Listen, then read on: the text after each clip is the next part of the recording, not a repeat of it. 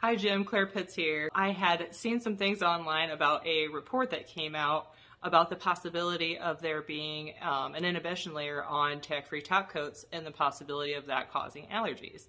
And I wondered if you guys had any information that we could share with everyone about that. Hi Claire, great question. Let me explain a couple of things about research and development. So you have theories that are presented. In this case, there's a theory about no wipe top coats having an inhibition layer, and it does exist. But then it's also up to other chemists or other scientists to either prove that theory is correct or disprove it. In this case, what we did is we went ahead and swabbed those tips, the no wipe top coats and super shiny, and tested for any residual material through GCMS. And we found that with our testing, the super shiny, which has an inhibition layer, did show uncured material, but with the other no wipe top coats, there is nothing detected. So while there may be an inhibition layer there, it's so minuscule that it's not worth worrying about.